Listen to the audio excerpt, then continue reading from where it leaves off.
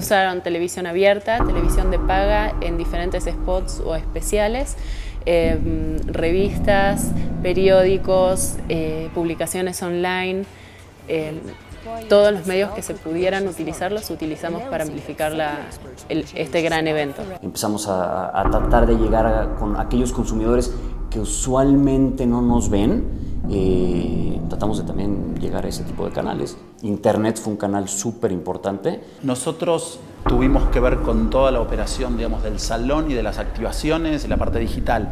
En el caso de Unilever, ellos hacen con su agencia de medios toda la compra de medios y pauta tanto en parabuses como en metro, como en cualquier tipo de medios. En el momento en el que tú sumas todos los puntos de contacto con el mensaje construido de la manera correcta, es mucho más potente que únicamente hacer copy-paste, ¿no? Vamos a compartir un proyecto distinto a todo lo que viste hasta ahora, Proyecto Co-Creation. El concurso en el que un grupo de peluqueros enfrentará siete misiones donde pondrán a prueba toda su creatividad pero solo uno será el ganador y para lograrlo contarán con la ayuda de los mejores especialistas del mundo de la moda. Quizás sea algo muy agresivo pero al mismo tiempo sofisticado. Vamos bien, vamos bien. Me encanta.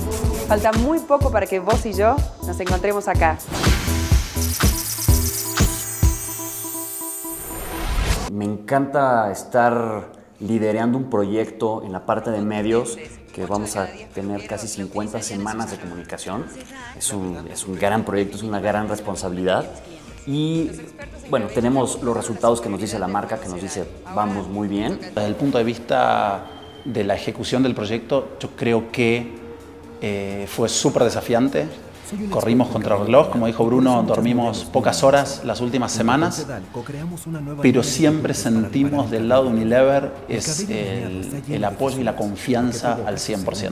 La innovación es, es, fundamental, ¿no? de alguna manera es, es una es tanto lanzar nuevas marcas, pero también es eh, eh, lanzar nuevas variedades. ¿no? Es, el consumidor está cambiando constantemente y siempre está buscando nuevas eh, necesidades o simplemente a lo mejor son necesidades que no están hoy en día satisfechas. Entonces ahí es donde tenemos que detectar cuáles son esas necesidades o buscar a lo mejor lo que le llamamos white spaces, ¿no? decir, bueno, a lo mejor la competencia está aquí, pero aquí hay una oportunidad de negocio y entonces ir y ser los primeros en tomar esa oportunidad de negocio. Nosotros tenemos un compromiso muy grande con la gente que ya nos compra para que nos siga comprando. No por, no por lo que le entregamos ya, sino por lo que le entregamos hoy y lo que le vamos a entregar mañana.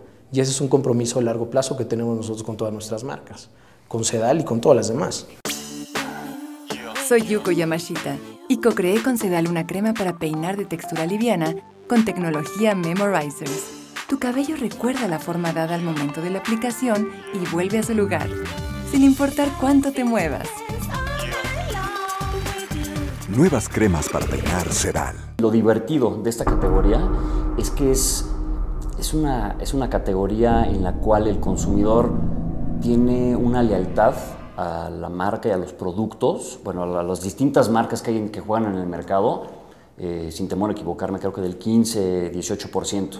Entonces es muy fácil que un consumidor cuando ve una publicidad que le atrae o un mensaje interesante para ellos, te haga un switch y diga, este, pues voy a probar ahora este y me cambio si llevo este, cuatro o cinco meses utilizando esta marca, me atrajo esto, brinco sin, sin ninguna digamos, sin ninguna culpa. Es una categoría eh, muy agresiva con grandes competidores, con, con, una inversión muy fuerte atrás, que constantemente están innovando, renovando, sacando nuevas variedades, cambiando los claims y también el punto de venta también hoy en día es cada día más agresivo. Tanto los precios, las promociones, toda la visibilidad, la experiencia, haces una cosa y, y después están copiando. Para mantenernos nosotros actuales en la cabeza del consumidor y siempre nos estén, estén considerando nuestras marcas este, en la parte más alta de su lista, nosotros tenemos que tener innovaciones muy, muy grandes.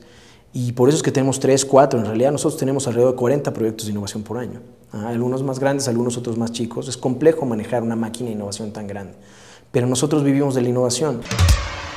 Sin duda que Unilever y Sedal siguen siendo pioneros en estrategias de comunicación para lograr campañas de publicidad innovadoras y efectivas.